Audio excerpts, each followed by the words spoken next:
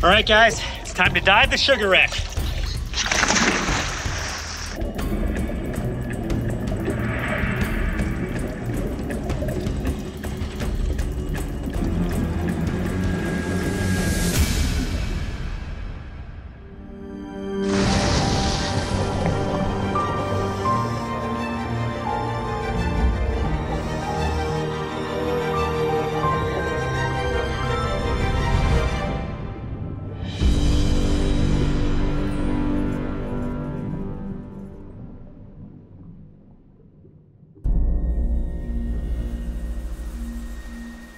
So far on Blue Wilderness, we've explored the world of sharks.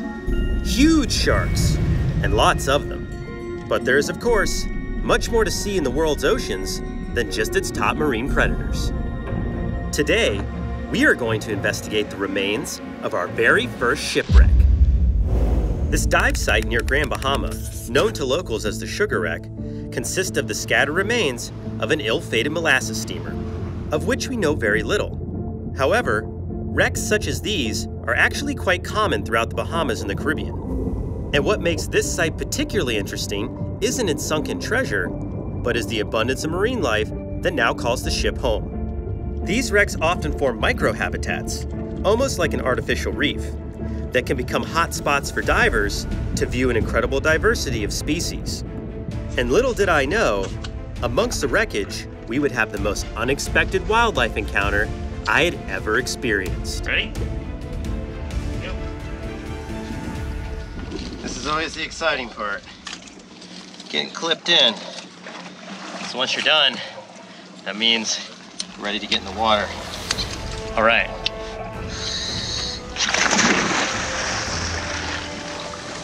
All right, guys, it's time to dive the sugar wreck.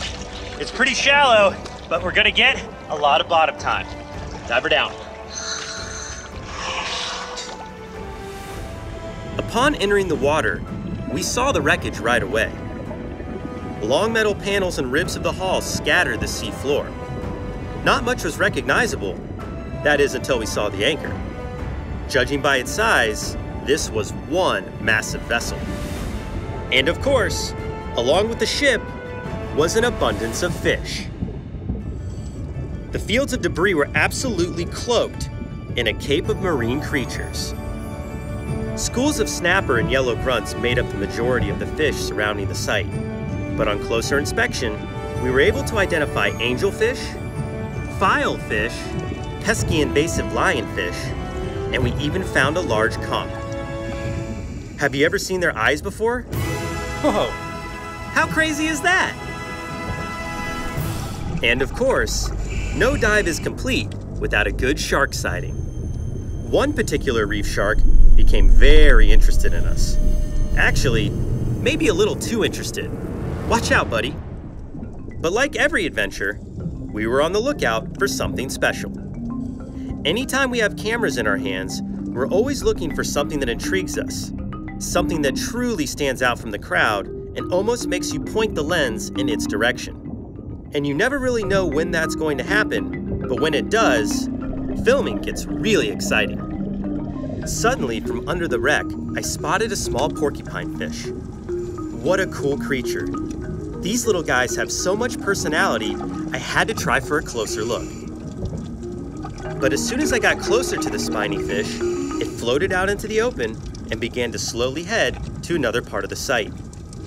But not too quickly. Just a slow, gentle cruise in another direction. And for some reason, I felt as if it wanted me to follow it.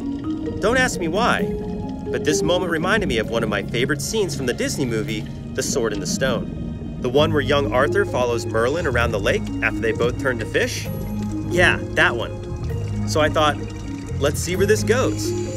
And just as I had hoped, the little fish was leading me right towards something much bigger. As we cruised together across the wreckage, I lost sight of Mario and found myself on a side of the wreck we had not yet explored. The debris here was much larger and more cavernous. The cracks in the wreckage were deep, and its contents were hidden from sight. Then suddenly, and without warning, the fish dove into a crevice, and in an instant, it was gone. To be honest, I felt a little let down because I'd hoped we'd take a rest so I could get some better footage. And so had Mario, who at this point had caught up to us and had actually been following along the entire time. We both looked back toward the hall fragments where our new friend had disappeared. And then, out of the shadows, emerged a truly giant porcupine fish. It was huge. I couldn't believe my eyes. Never before had I seen one so enormous. But, to my amazement, there were actually more of them. One by one, they popped out of hiding to inspect us and say hello. In fact, before long, I realized that we were completely surrounded and absolutely being swarmed by huge porcupine fish. What luck! Not only would we be able to get some amazing footage, but we were also about to witness some unique behaviors. Porcupine fish, also known as blowfish, inhabit tropical waters and reefs all over the world. Not to be confused with their cousins the pufferfish, porcupine fish can easily be distinguished by the visible spines covering their bodies. They do tend to be primarily found amongst reefs, and in this case, shipwrecks, and feed on a variety of hard-shell invertebrates like urchins, crabs, mollusks, and shrimp. Their beak-like mouths are specifically designed for these kinds of prey. And of course, their most famous trait, when agitated, is the ability to inflate their bodies and erect their spines outward to fend off any would-be predators. But the spines themselves are not venomous. And while impressive, we hopefully wouldn't be seeing any of these displays today because our goal was to remain in the presence of the fish and disturb them as little as possible. However, I must say, these spot-fin porcupine fish were by far the largest ones we had ever seen. And one of them was particularly huge, and also very dominant. It was almost the size of a watermelon, if you could believe it.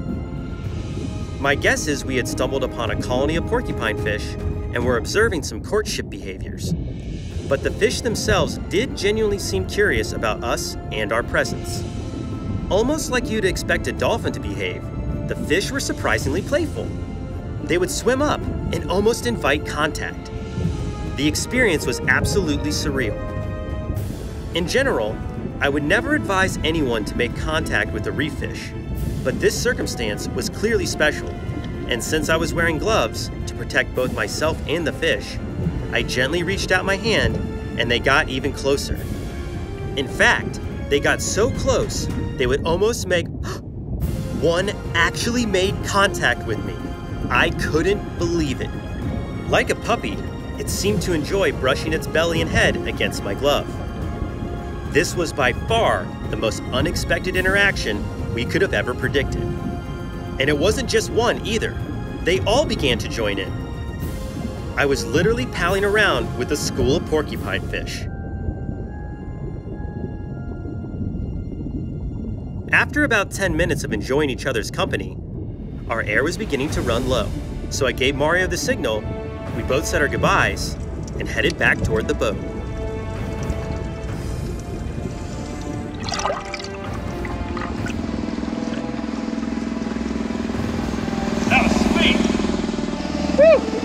Dried off. All right, well, we're back on the boat. The sugar wreck was amazing. We saw sharks, we saw all kinds of fish. I certainly didn't expect to get surrounded by porcupine fish, but on today's adventure, that's exactly what happened. I'm Mark Vins. Be brave. Stay wild. We'll see you on the next dive. If you enjoyed this dive, make sure to go back and watch the time we got surrounded by giant tiger sharks. And don't forget to subscribe and hit the notification bell so you can join me and the crew on our next aquatic adventure.